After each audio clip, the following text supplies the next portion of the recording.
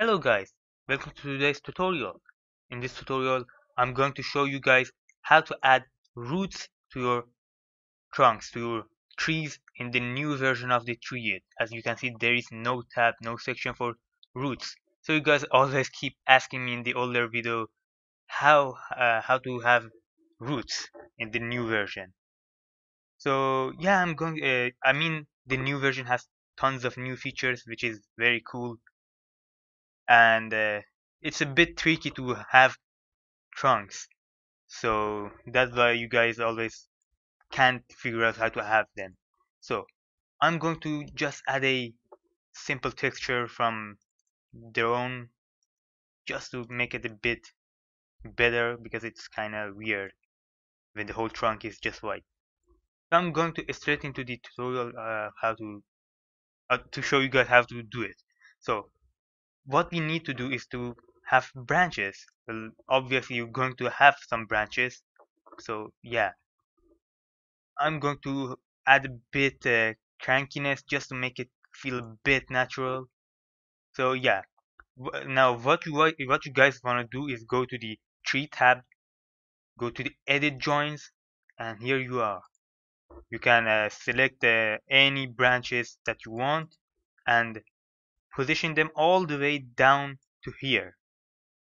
You can uh, put uh, change the uh, change the pitch and yaw right here to make it a bit better, a bit feel more natural. You can even click on these yellow points to have more options just to control those sections, which is very cool. That's why I love this software. You can uh, scale it down or scale it up if you want to just like uh, just like we did with this branch we can do it with this one. Position it down to the to here. Change the pitch and yaw if you want to. So yeah let's say that okay so I've got branches but what if I add branchlets those little branches on the branches? What about that? As you can see you will get branchlets also on them it can be a bit annoying as you know. So you can also do the same thing for this one for the for the branchlets you can change the pitch and yaw it's like the it feels more natural like the branches for the for your roots. So it uh, so you can yeah as a just like uh, the way we did it with the branches you can edit them if you want. Let's say you don't want them how about now? So if you don't want any branchlets or let's say you edited these branchlets on your branches and you want to delete the rest of them what you're gonna do is to uh, deselect the edit joints go to the here um, where it was. Yeah select this option. Click on this option and here you are.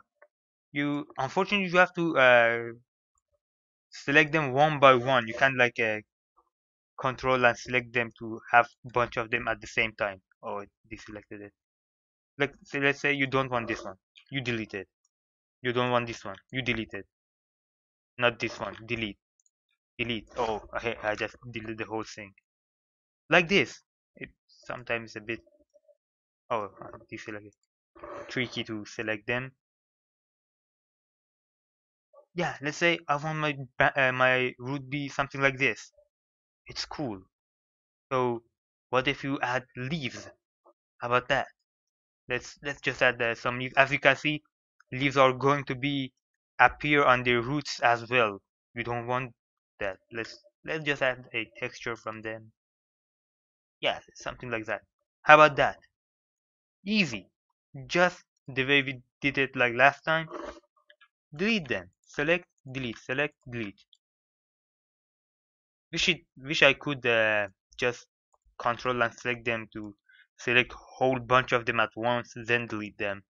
It could make it easier but maybe they add this feature on the uh, on the future updates. So and yeah here you are. New version of Tree It with branches.